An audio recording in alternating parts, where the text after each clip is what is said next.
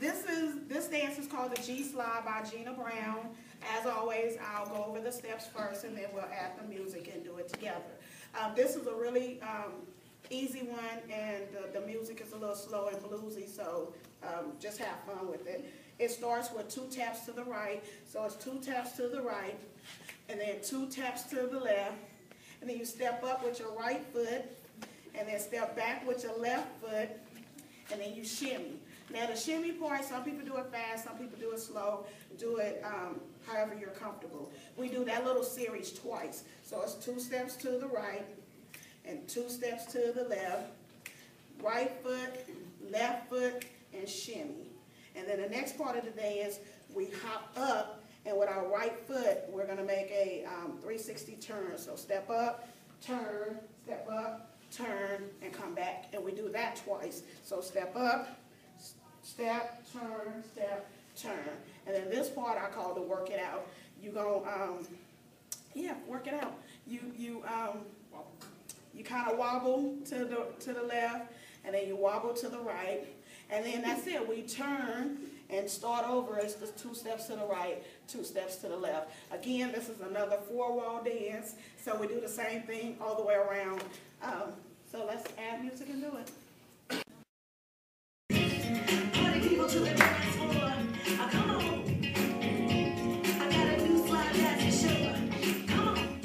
Get up!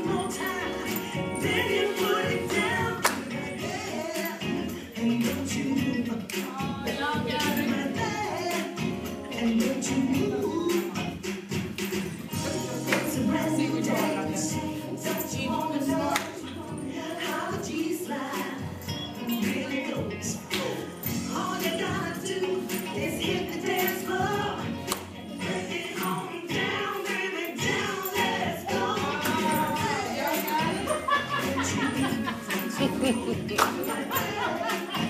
嘿嘿。